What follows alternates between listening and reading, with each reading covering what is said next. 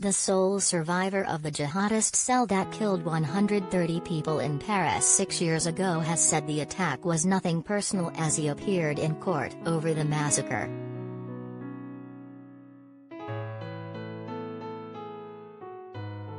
Salah Abdeslam, one of ten jihadists who attacked bars and restaurants in the French capital in November 2015, said it was retaliation for France bombing ISIS in Syria.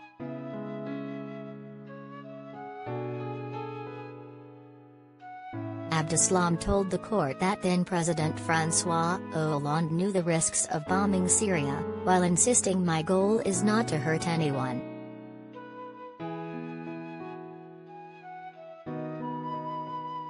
His calm statements contrasted sharply with outbursts he made during the first few days of the trial that opened last week, where 19 others are also accused in the biggest trial in modern French legal history.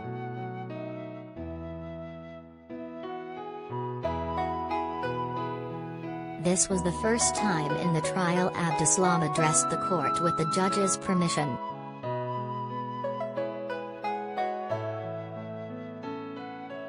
Many in the audience, including families of the dead and the roughly 350 people physically injured, cried or hugged one another as Abdeslam spoke, the day of his 32nd birthday.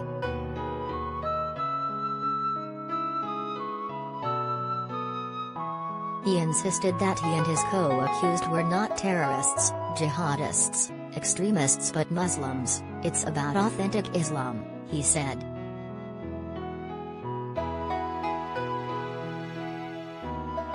They say often that I'm being provocative, but it's not true, I want to be sincere, Abdeslam said.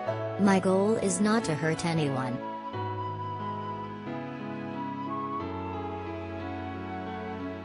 Abdeslam helped rent cars and hotel rooms for the terrorists who attacked Paris on the night of November 13, and acted as a driver during the attack itself.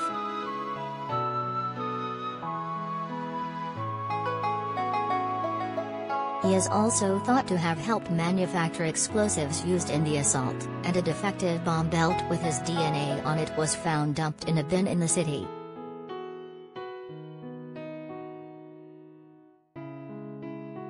Seven of the jihadists died during the attack itself, while two more were killed in a police raid several days later.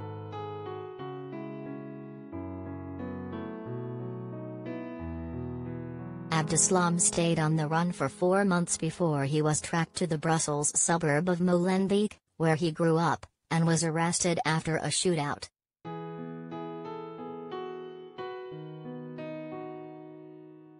The marathon trial will last until May 2022, with 145 days of scheduled hearings involving about 330 lawyers and 300 victims.